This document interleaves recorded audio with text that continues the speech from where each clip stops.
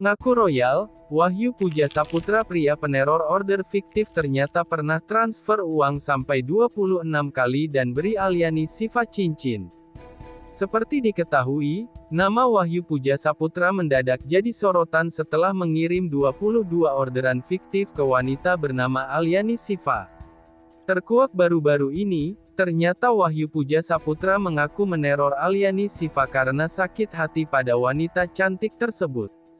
Hal itu lantaran Wahyu merasa dirinya sudah banyak berkorban dan sangat royal pada Alia. Namun sayang, cinta Wahyu malah kalah dari anak DPR. Atas hal tersebut, Wahyu pun merasa sakit hati dan melakukan teror fiktif kepada Aliani. Wahyu Puja Saputra merasa sakit hati mendalam karena Aliani Siva mengacuhkannya.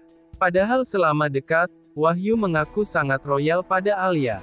Mereka kenal di media sosial TikTok, tepatnya ketika Alia memasarkan barang dagangannya.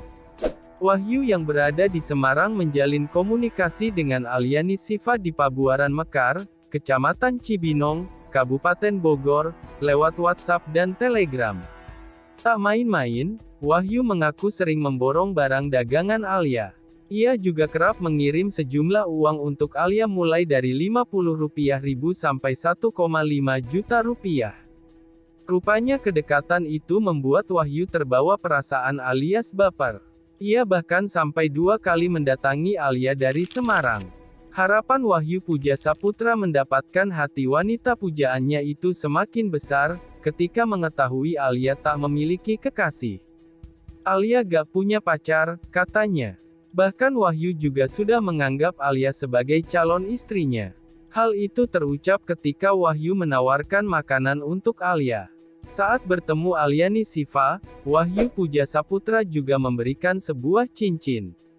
Namun begitu Wahyu mengakui bahwa ia memang tak pernah mengutarakan perasaannya pada Alia.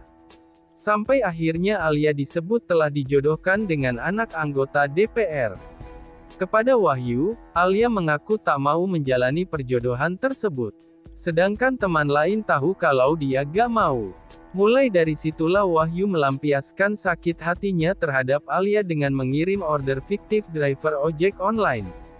Soal cincin pemberian Wahyu, Alia tak bisa mengelak. Ia mengaku menerima cincin pemberian Wahyu. Namun begitu cincin tersebut justru tak menjadi pertanda keseriusan hubungan keduanya.